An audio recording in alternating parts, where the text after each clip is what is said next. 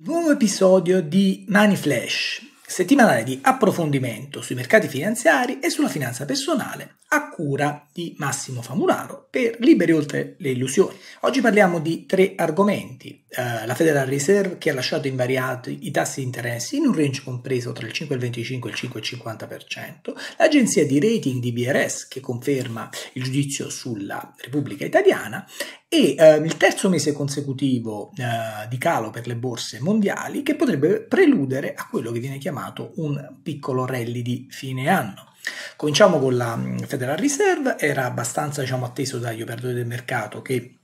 eh, la eh, Banca Centrale Americana lasciasse invariato il livello di tassi di interesse e è la seconda volta di seguito a partire dall'avvio di, questa, mm, diciamo, di questo ciclo di politica monetaria restrittivo cominciato nel marzo dello scorso anno. I livelli col 5,25-5,50 sono a, ai massimi da uh, oltre 20 anni e quindi diciamo, si tratta di una restrizione di politica monetaria forte. L'obiettivo, come è noto, è quello di contenere l'inflazione e eh, diciamo la decisione di non alzare i tassi sostanzialmente segnala che uh, per quanto per, con le informazioni disponibili a, ai membri del uh, board che prende questo tipo di decisioni essenzialmente eh, gli effetti restrittivi della politica monetaria si staranno in qualche modo uh, trasferendo all'economia. E soprattutto um, diciamo è molto evidente l'aumento dei costi di finanziamento oltre che eh, diciamo addirittura l'impatto ad esempio sul mercato immobiliare che eh, per molti è ritenuto quasi ad un livello di stallo, visto che chiaramente eh, i, i, livelli target dei mutui a tasso fisso hanno toccato forse l'8% e per molti eh, diciamo acquirenti è diventato, perché acquistava con leva, è diventato eh, diciamo molto difficile finanziarsi e nel commento della Banca Centrale ehm, non ehm, ci sono particolari differenze rispetto a quanto evidenziato nel commento della scorsa decisione, che anche quella aveva lasciato i tassi invariati. Eh, la Banca Centrale centrale conferma che i propri obiettivi riguardano un target di inflazione del 2% nel lungo periodo e un livello di piena occupazione. Le variabili più rilevanti eh, per i quali diciamo, che i banchieri centrali osservano per prendere le loro decisioni riguardano sicuramente il mercato del lavoro e in particolare alla base di questa decisione c'è un aumento del numero di occupati eh, inferiore agli inizi dell'anno, ma comunque ehm, diciamo con un tasso di disoccupazione piuttosto bassa e eh, piuttosto basso e con l'inflazione che permane ancora elevata. E, ehm, per le decisioni future, quello che ci dice eh, la Banca Centrale Americana è che essenzialmente eh, eh, le eventuali mh, mm, ehm, decisioni future saranno legate chiaramente ai fattori macroeconomici, in particolare all'andamento della, eh, del mercato del lavoro e all'obiettivo chiaramente dell'inflazione e che ehm, questi terranno chiaramente conto dell'eventuale ritardo temporale con il quale la politica monetaria si trasmette all'economia, quindi diciamo, si può leggere anche questa pausa come la volontà di attendere che le decisioni passate, che i rialzi passati abbiano in qualche modo un eh, effetto sull'economia. Per quanto riguarda invece le agenzie di rating, anche di BRS abbiamo, fatto, abbiamo spiegato le motivazioni alla base della decisione di Standard Poor's di eh, confermare il proprio giudizio po- eh, sull'Italia eh, nell'episodio precedente. Eh, di BRS conferma il giudizio, un giudizio che è leggermente migliore delle altre agenzie, quindi una tripla B high. Eh, le motivazioni sono abbastanza simili a quelle che aveva detto Standard Poor's e già, di cui abbiamo già parlato nell'episodio della scorsa settimana. Sostanzialmente si ritiene che le eh, diciamo, criticità che attendono uh, le, le, finanze pubbliche eh, del nostro paese e che potrebbero mettere in discussione la sostenibilità del rapporto debito-PIL nel tempo,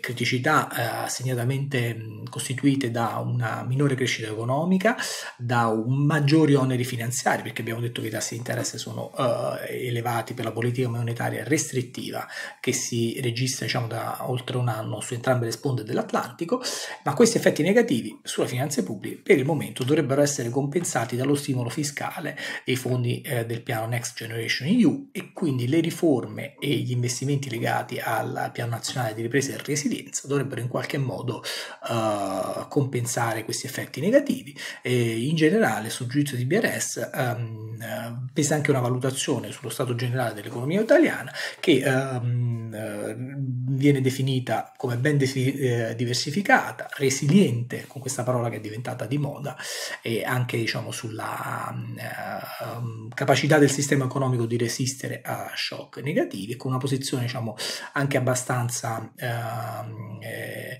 uh, solida per quanto riguarda i conti con l'estero e quindi diciamo, anche con un flusso positivo di investimenti, ma mi fa piacere che BRS diciamo, abbia menzionato il suo giudizio qualcosa che avevamo detto in questa rubrica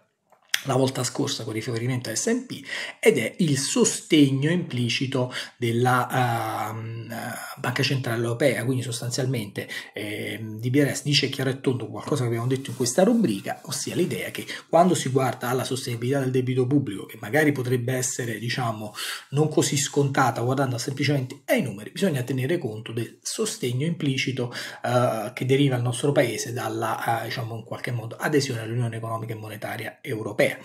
e mm, eh, cerchiamo di stare nei tempi, facciamo per la prima volta insomma un po' anche qualche riferimento ai mercati, vediamo che eh, nel mese di ottobre ehm, eh, le borse mondiali si chiudono per il terzo mese consecutivo in negativo, eh, in particolare l'indice MCI MSCI World um, chiude a meno 2,9% e mh, qui diciamo si tratta sostanzialmente di quella cosiddetta correzione di cui per dire avevo pagato, parlato anche eh, nei miei podcast della finanza in soldoni, in particolare nell'episodio 43 e 59, quindi che datavano giugno e agosto di questa correzione attesa, eh, dopo la corsa dei mercati nei primi otto mesi dell'anno. E, e essenzialmente, eh, secondo gli osservatori, diciamo, questa, eh, dopo questi tre mesi di uh, correzione, potremmo assistere a quello che si dice un, piccolo rally di fine anno, quindi la possibilità che a, a fronte di una serie di uh, segnali meno negativi, positivi, quindi diciamo la pausa nei rialzi dei tassi di interesse, l'inflazione sotto controllo e uh, come unica diciamo, variabile diciamo, un, un, po' di criticità e, e, il quadro geopolitico internazionale, soprattutto con il rischio di escalation in... Um, eh, in Medio Oriente che eh, nelle settimane scorse, diciamo, prima dell'ingresso di, di, di Israele eh, nella striscia era insomma, in qualche modo ritenuto più basso, adesso chiaramente resta un punto un po' aperto. E Mm, per chiudere diciamo, un po' anche il quadro di questa rubrica di questa settimana, eh, ci dobbiamo far lasciare tentare da questo rally di fine anno, è un momento buono per investire, tra l'altro eh, tenendo meno quella diversificazione che, insomma, di cui avevamo parlato in passato, di cui parleremo sul discorso delle obbligazioni, potremmo assistere quindi a, a un andamento positivo, eh, così come si è registrato un andamento eh, parallelo in negativo di azioni e obbligazioni negli ultimi mesi, potremmo assistere anche qui a un diciamo, percorso parallelo in positivo, legato al fatto che quindi le borse in qualche modo potrebbero in qualche modo rimbalzare dopo questa presa di beneficio, tenendo conto che eh, da un punto di vista della politica monetaria eh, ci sarebbero segnali che il peggio è passato, quindi con la possibilità di forse un altro rialzo entro il primo trimestre del prossimo anno, ma comunque diciamo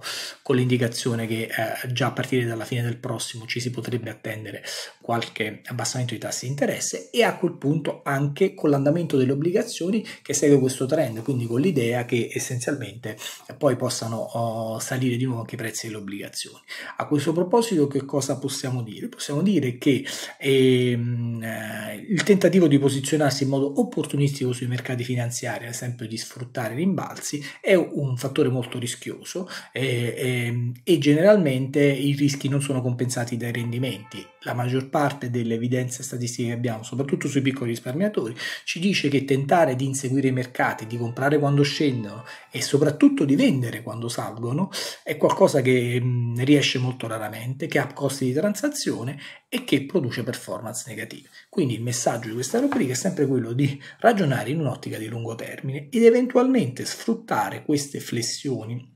comunque le osservazioni che abbiamo dei mercati per un fine tuning e ad esempio quindi per magari se abbiamo un piano di investimento di lungo periodo ad esempio in azioni intensificarlo nei momenti in cui eh, ci sono dei, delle fasi di correzioni e di lasciarli andare nei momenti in cui chiaramente poi ci sono i rimbalzi. Ma l'idea è che uh, quello che dà un premio e consente di avere una performance positiva sui propri portafogli è un atteggiamento di lungo periodo, quindi lo, l'allocazione a strumenti di obbligazioni di breve termine di liquidità per i soldi che ci potrebbero servire su un orizzonte breve, diciamo di 12-24 mesi, di allocazione sull'azionario per ehm, i fondi che invece potrebbero servirci su un orizzonte più lungo, diciamo eh, 36-48 mesi, eventualmente l'obbligazionario per quello che cade in mezzo, come abbiamo detto in passato, ad oggi l'asset class eh, più, um, sulla quale ci sono de- dei dubbi rilevanti è appunto l'obbligazionario di medio termine, perché ad oggi i rendimenti dell'obbligazione a breve sono elevati, spesso più elevati di quelli a lungo termine, e quindi l'asset class diciamo un pochino più sfortunata e sulla quale dovremmo fare dei ragionamenti e li faremo nei prossimi episodi riguarda proprio l'obbligazionario. L'obbligazionario che eh, ha perso nel tempo il suo fattore di protezione di correlazione negativa rispetto all'azionario perché spesso diciamo come abbiamo visto si muove nella stessa direzione